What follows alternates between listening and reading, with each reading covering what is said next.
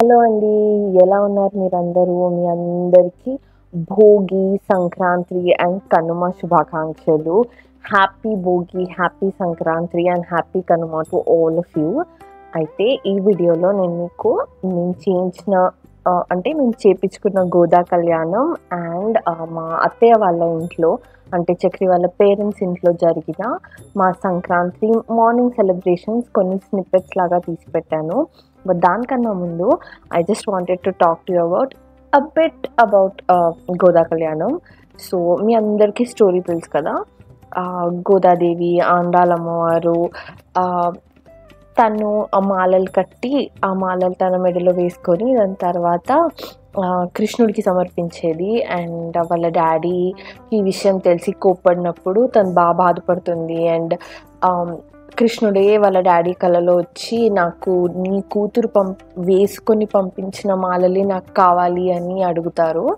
So దాని తర్వాత నువ్వు ఎవరిని పెళ్ళి చేసుకుంటావు అంటే నేను శ్రీ మహావిష్ణువుని పెళ్ళి చేసుకుంటాను అంటుంది ఆవిడ. దాని తర్వాత ఏ ఇన్ని రకాల శ్రీ మహావిష్ణువు ఇన్ని అవతారాలు ఉన్నాయి నీకు ఎవరు కావాలి అని అడిగారంట. ఎన్ని రకాలు ఉన్నాయి అని అడిగిందంట తను.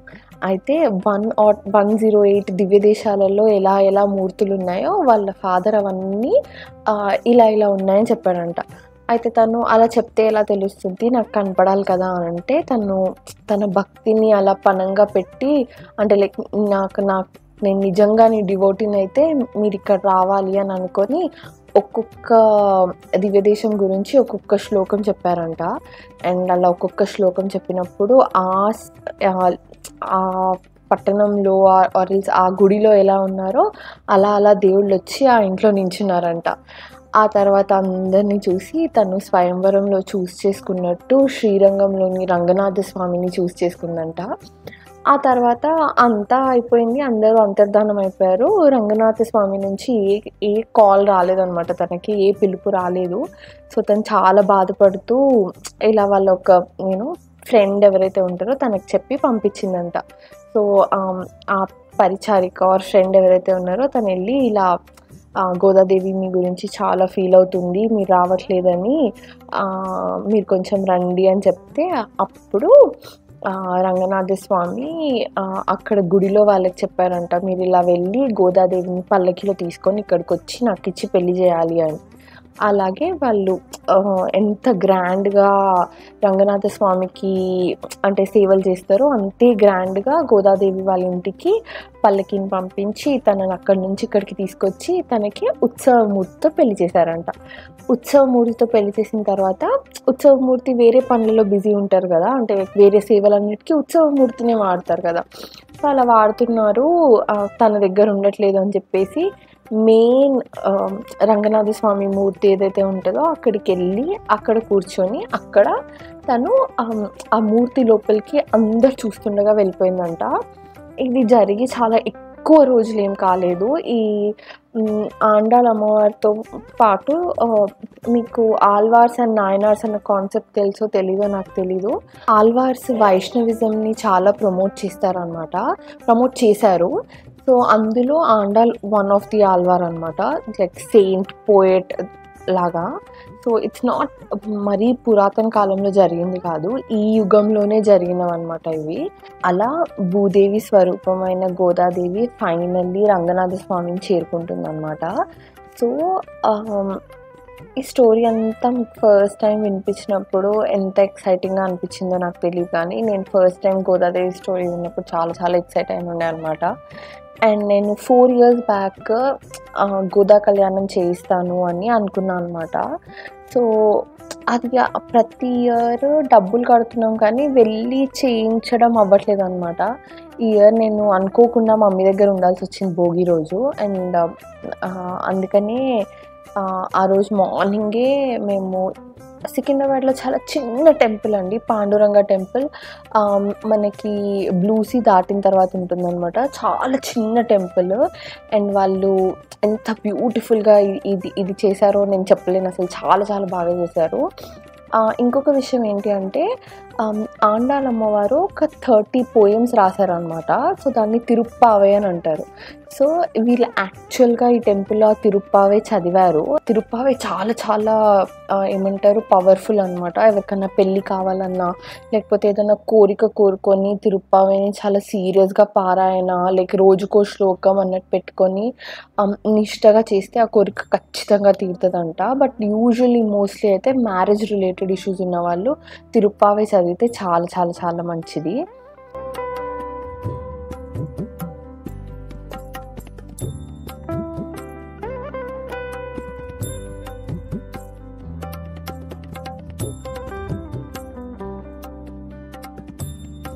అండ్ దెన్ కళ్యాణం అయిపోయిన తర్వాత మేము మా అత్తారింటికి వచ్చేసాను అనమాట నేను మా ఇన్లాస్ హౌస్కి వచ్చాను. ఇక్కడ వైబ్ చాలా డిఫరెంట్ ఉంటుంది from what you see from our house so ఇక్కడ మాకు కొంచెం ప్లేస్ ఉంటుంది అనమాట for Ishan to move around కొంచెం పల్లెటూరు వైబ్స్ ఉంటుంది. అంత కాదు. ఇది యాక్చువల్గా టౌనే మెదక్ యాక్చువల్లీ టౌనే బట్ ఇల్లు కొంచెం ఓల్డ్ ఓల్డ్ వైబ్స్ ఇస్తుంటుంది అనమాట సో ఇట్లా మాకు కొంచెం ప్లేస్ ఉంటుంది you know for Ishan to play and everything and అత్తే అక్కడ అన్ని కుండలలో అన్నిట్లో ఏమంటారు బాస్కెట్స్లో అన్నిట్లో చెట్లు పెడుతుంటారు అనమాట సో తెలంగాణ సంక్రాంతికి ఆంధ్ర సంక్రాంతికి చాలా డిఫరెన్స్ ఉంటుంది. ఆంధ్రాలో కోడి పందాలు ఆ స్టైల్ ఎక్కువ ఉంటుంది. తెలంగాణలో చాలా సింపుల్ ఉంటుంది సంక్రాంతి. మేము ఎక్కువ కైట్స్ పైన ఫోకస్ చేస్తాం అనమాట సో మార్నింగే యూజువల్గా కైట్స్ అయిపోతాయి. నాకు నోములు ఉన్నాయి కాబట్టి మేము మార్నింగ్ చాలా సింపుల్ రొటీన్ ఉంటుంది అనమాట సో మార్నింగ్ మార్నింగ్ ఇక్కడ ముందు రోజు రాత్రి అత్తయ్య అన్ని నోములన్నీ సెట్ చేసి పెట్టేస్తుంది అనమాట లైక్ బొట్లు పెట్టడం అవి ఇవి ఉన్నా ఒకవేళ నేను వస్తే నేను హెల్ప్ చేస్తాను. నేను ముందు రోజు రాత్రి వెళ్ళాను కాబట్టి నేను నేను మమ్మీ దగ్గర నుంచి తీసుకెళ్ళిన నోములకు మాత్రమే అట్లా బొట్లు అవన్నీ పెట్టి సెట్ చేసేసాను అనమాట ఈశాన్ చక్రి మంచిగా చిల్ అవుతుంటారు అసలు ఇక్కడికి వస్తే. నేను కూడా చిల్ అవుతాను అనుకోండి అది వేరే విషయం. సో ఎలాగూ ఈ ఈసారి కొంచెం లేట్గా స్టార్ట్ అయింది. ఎందుకంటే ten to twelve o'clock time ఇచ్చారనమాట ఒకవేళ సిక్స్ టు ఎయిట్ అలా టైం ఇస్తే కొంచెం హెక్టికే ఉంటుంది.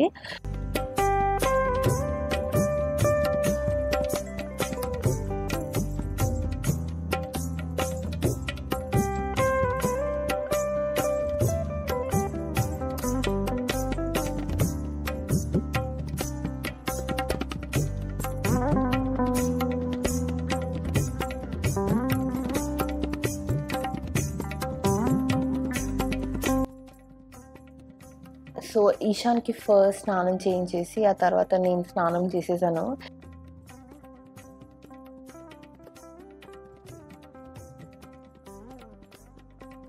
ఇక్కడ చూసారా? ఈశాన్ కుర్తాకి క్యూట్గా సన్ గ్లాసెస్ ఉన్నాయి. నాకు మా అత్తయ్య వాళ్ళ ఇంట్లో బాగా నచ్చేది ఏంటంటే వాడు వాళ్ళ గ్రాండ్ పేరెంట్స్తో బాగా ఇంటరాక్ట్ అవుతాడు. ఇక్కడ మా మామయ్య వాడికి మంచిగా ఏమంటారు పాలు తాగిపిస్తున్నారు అనమాట మార్నింగ్ బ్రష్ మా మామయ్యనే చేపిస్తారు most of the times always మా మామయ్య చెప్తేనే వాడు వింటాడు నేను ఇక్కడ నోములు ఏవైతే ఉంటాయో అవి ఇలా సెట్ చేసి పెట్టేసి దానికి ఇలా మొక్కుతున్నా అనమాట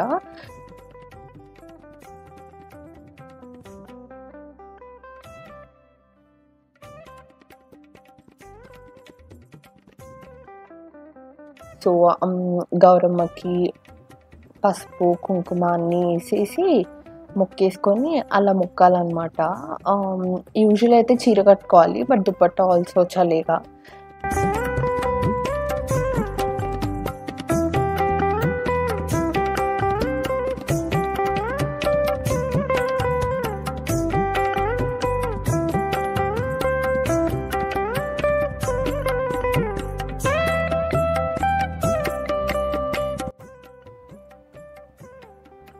ఆ తర్వాత మేము మంగళహారతి ఇస్తున్నాము.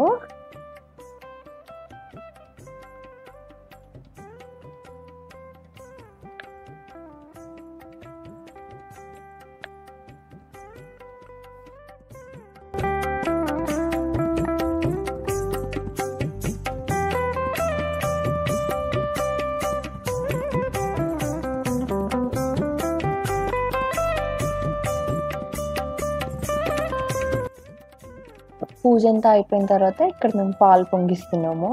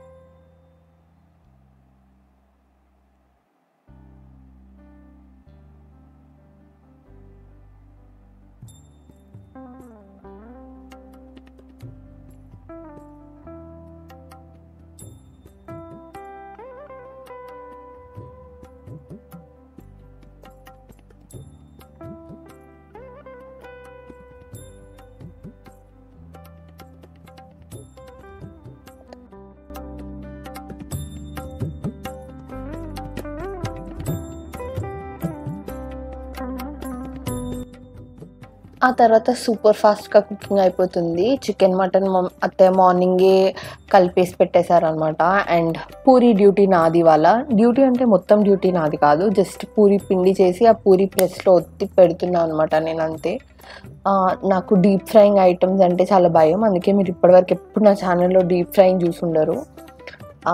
ఇక్కడ ఈశాన్ వాళ్ళ నానమ్మతో టైం పాస్ చేస్తున్నాడు అనమాట లైక్ వాట్ నేను పైన కూర్చొని I will see how your cooking how your doing everything అని.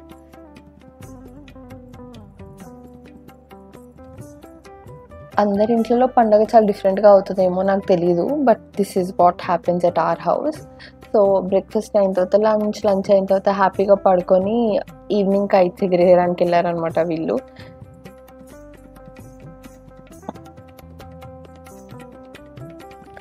మీ పండగ ఎలా జరిగింది? మీరందరూ సంక్రాంతికి ఏం డిఫరెంట్గా చేస్తారు? దీనికి ఇంకా ఏం యాడ్ చేస్తారు? అన్నది నాకు కింద కామెంట్ సెక్షన్లో చెప్పడం మర్చిపోవద్దు. మమ్మల్ని మా ఫ్యామిలీని మీ థాట్స్ అండ్ ప్రేయర్స్లో పెట్టుకోండి. Because you know everything is not as rosy as it seems ఇక్కడ యూట్యూబ్లో so do pray for us and I will keep you all in my prayers thank you so much, Andina Video Spina, you know, for all the love you're showing.